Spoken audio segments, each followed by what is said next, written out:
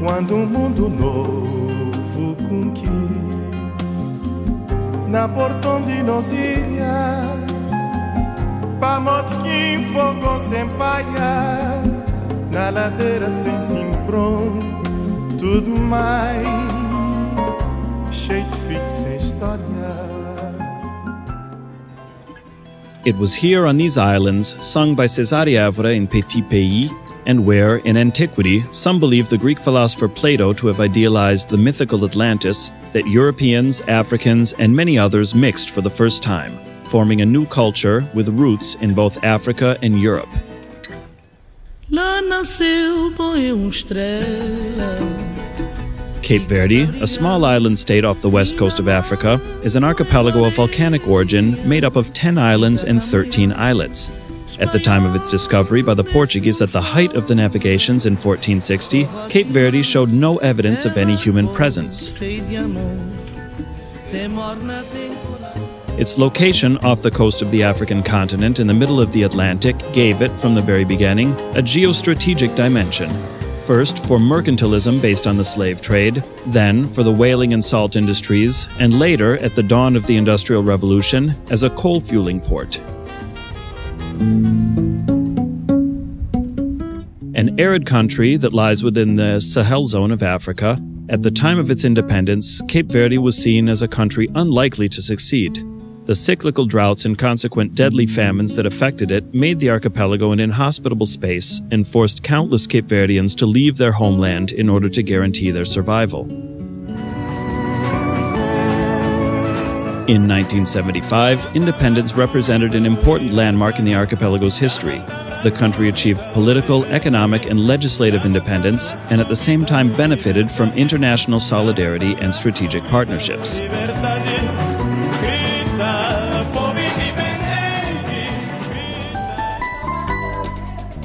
Political stability and economic growth fostered the democratization of schooling, the promotion of education as a form of empowerment, and investment in human resources. The country attained high levels of development and is today a reference throughout all of Africa.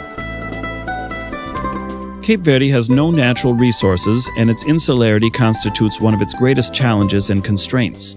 Even so, the country and its successive governments have been astute at selecting and investing in key sectors that today are Cape Verde's main economic springboards. The sea is now seen as a strategic ally in development, and in this sense, major investments have been made in the modernization of the main infrastructures, which has transformed the country into an important trade hub in the middle of the Atlantic. Alongside these investments of steel and concrete, the country has also invested in human capital, technological competencies, and the information society. Much is also being said nowadays about the so called creative economies, the strategy chosen by the government to take the best possible advantage of infrastructures for the distribution of agricultural, fishing, and handicraft products, and as a basis for attracting tourists to the country. The main objective is to generate wealth, promote employment, and encourage entrepreneurship and new business that can capitalize on the best the country has to offer. Cape Verde has grown and is now classified as a middle income country. This new classification has, of course, brought challenges and resulted in a reduction in international aid. The path ahead is a long one, but is being treaded one prudent and well advised step at a time. And while on the domestic front the country grows and responds to its new challenges, its foreign policy is establishing links with new partners in development while consolidating existing partnerships. The archipelago's geographic position and the privileged links it enjoys with three continents favor the constitution of alliances that, more than ever, are determining factors in this global world.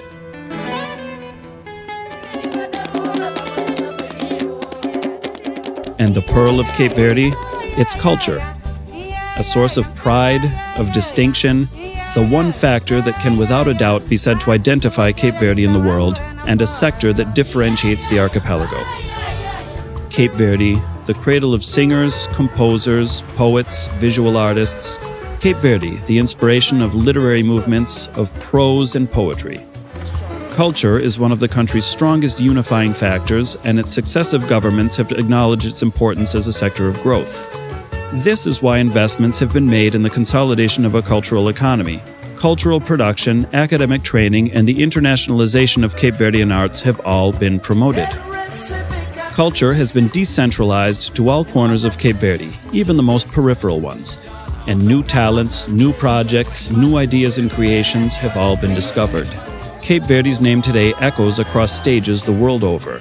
Musical genres such as Morna, Coladeira, and Funana are recognized as the signs of the identity of a people, symbols of the 10 tiny islands and as many other virtual islands scattered across the Cape Verdean diaspora in Cape Verdean communities on all of the world's continents.